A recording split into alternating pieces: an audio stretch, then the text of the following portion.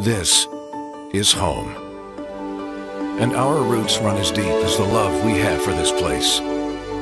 Owned by the same Cincinnati company for more than 70 years. And what matters to you matters to us. This is WCPO 9 News. Thanks for joining us for WCPO 9 News. I'm Tanya O'Rourke. Here's a look at some of today's top stories. Police identify the man shot by a Fairfield officer. They responded to Port Union Road after a person who called 911 hung up. When they got there, police say they found Rodolfo Molina Hernandez in a driveway with a gun they believe to be real. Now, according to an incident report, he refused several orders to drop the gun and then pointed it at the at the at officer Robert Davis.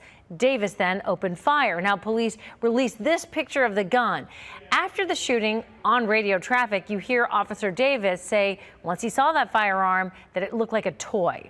State investigators, though, confirm it is in fact a real gun. Molinas Hernandez is in the hospital and he will face charges.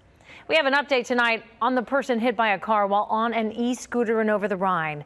The person's mother says doctors had to remove part of her, their skull, but they were able to open their eyes and gives a, give a thumbs up.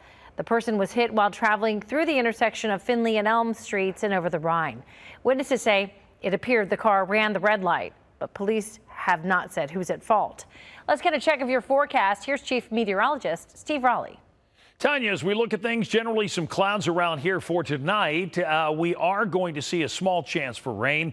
Uh, most folks will stay dry right through the morning, 61 overnight. Then for tomorrow, we're going to see the clouds thickening up, especially in the afternoon. Storms will develop by 3, 4 o'clock, and we are calling for a 9 first warning weather alert day tomorrow.